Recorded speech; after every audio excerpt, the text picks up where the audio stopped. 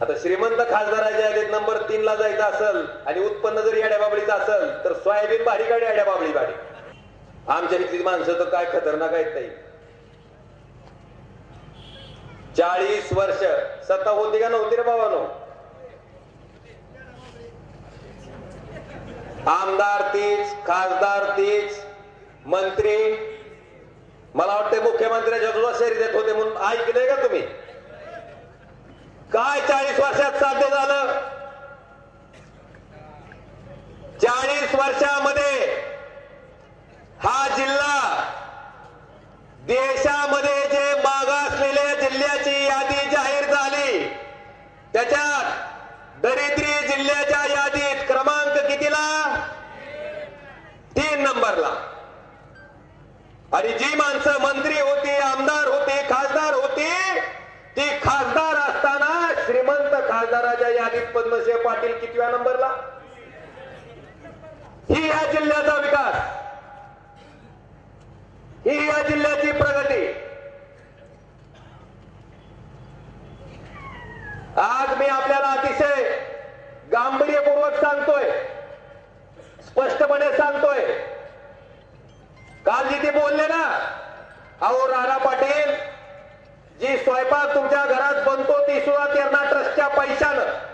जी स्वयंपाकी स्वयंपाक बनवतो ती त्याचा पगार सुद्धा त्यांना ट्रस्ट मधनं जी ड्रायव्हर तुमची गाडी चालवतो त्याचा पगार सुद्धा त्यांना ट्रस्टमध्ये. जी पीए तुमचे काम करते त्याचा पगार सुद्धा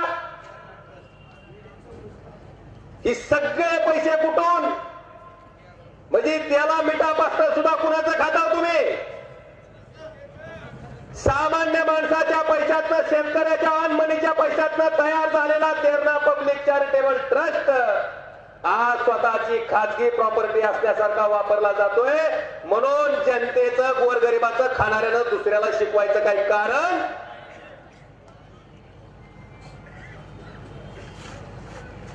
मी काल परवा ऐकलं. गुरुबागाला कधी आलता का तेरला.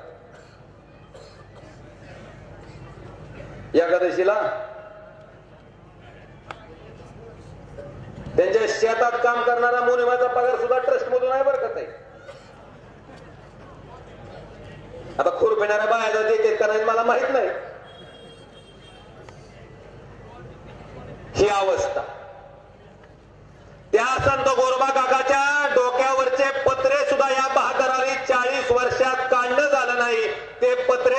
काढले मधुकररावजी चव्हाण साहेबांनी काढले आणि गोरोबा काकाच्या मंदिराचा जीर्णोद्धार केला. हा इतिहास आहे. आणि तीच माणसं आता तुळजाभवानीचा विकास करायला निघाली. आई आंबे सद्बुद्धी दे बाई त्यांना. काय सांगावं याच्या विकासाबद्दल? आपल्याकडं दोन उदाहरण आहेत. दोन आमदाराचं.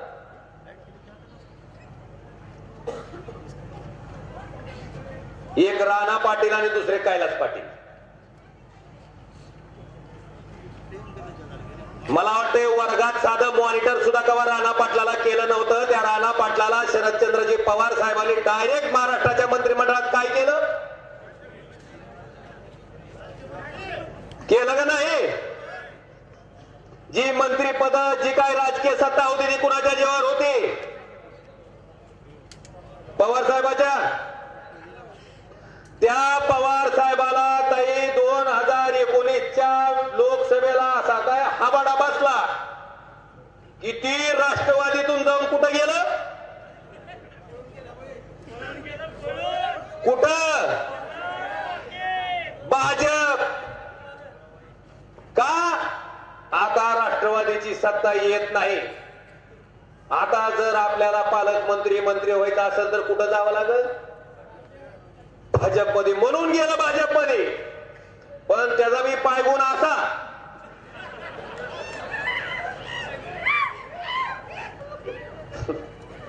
भाजप गेलं सध्याच्या बाहेर.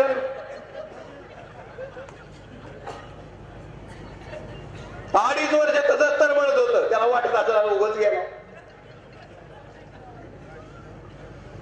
बरं अडीच वर्ष सुधारलेला? आता सुद्धा शपथ घेण्यासाठी कोट घालून बसलो होतं पण कोट घातला कोणी?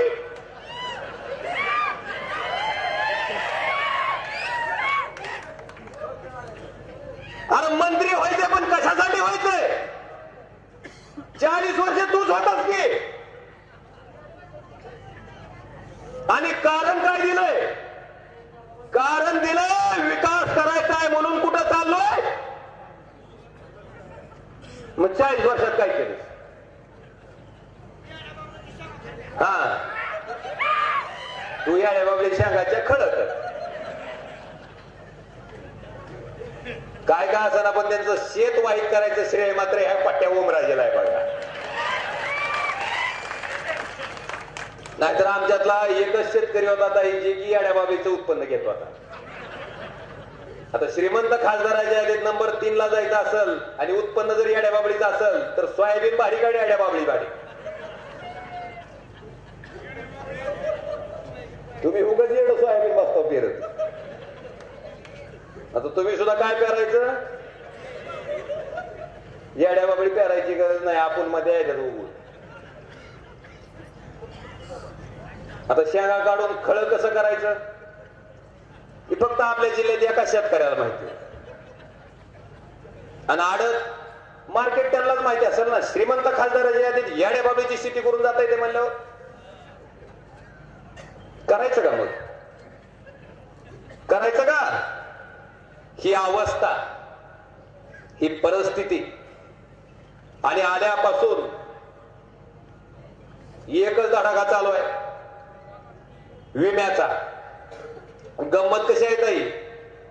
विमा मिळाला की माझ्यामुळे मिळाला म्हणते. आणि विमा हुकला की हा हा सरकार. तेव्हा मनाला चान्स होता ना. आता भानगड अशी झाली की राज्यात बी तुझंच सरकार केंद्रात बी तुझंच सरकार आणि विमा कंपनी सुद्धा केंद्र सरकारची आता फिरायला कुठं वाट? त्या कंपनीनं भानगड अशी केली की दोघ जण भाऊ भाऊ शेतकरी एकाच गटात शेतीची. एका भावाला विमा आलाय तेवढ्या क्षेत्राचा पाच हजार आणि दुसऱ्या भावाला आलाय पन्नास हजार. आता ही नीट नीटक करून दे बाबा म्हणा तू स्पेशालिस्ट आहे म्हणून सांगायला लागलोय. आपण कसं एखादं दुखणं बरं होईना गेल्यावर कुठं जातो?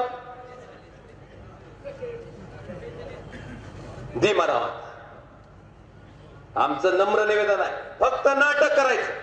लोकाला बोलवायचं दाखवायचं. मी अजून सुद्धा दिलेल्या प्रश्नाची उत्तरं मिळाली नाहीत. ज्या वेळेस पहिली याचिका शिवसेनेनं दाखल केली दोन हजार वीसच्या विम्यासाठी त्याच्यात आम्ही स्पष्टपणे सांगितलंय की विमा कुणानी दिला पाहिजे? विम्याची भरपाई कुणी दिली पाहिजे? कंपनीनं. ही काय म्हणते जर विमा कंपनीनं सात आठवड्याच्या आत भरपाई नाही दिली तर कुणी द्यायची? सरकारनं.